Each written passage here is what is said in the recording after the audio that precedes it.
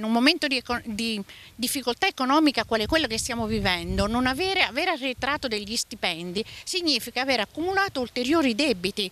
Si è chiusa con la vittoria dei lavoratori rappresentati dalla UGL l'avvertenza Unilabor Ciclat connessa all'appalto per la pulizia dell'aerostazione di Pescara esternalizzato dalla Saga e per il quale il sindacato aveva proclamato lo stato di agitazione nel 2019 per il mancato pagamento dei dipendenti. Una vicenda che si trascinava dunque da anni e che si è chiusa con sentenza dello scorso 31 luglio. Gianna De Amicis, segretario UGL Abruzzo. A un certo punto la Ciclat non paga più i, dipendenti. A questo punto, dopo varie traversie e cose varie, la saga decide di bloccare l'appalto e subentra un'altra, ma rimangono in, da pagare eh, stipendi maturati e non, come dicevo, pagati. Ehm, noi come sindacato abbiamo interessato eh, il committente Saga così come da normativa vigente che è responsabile in toto per il pagamento.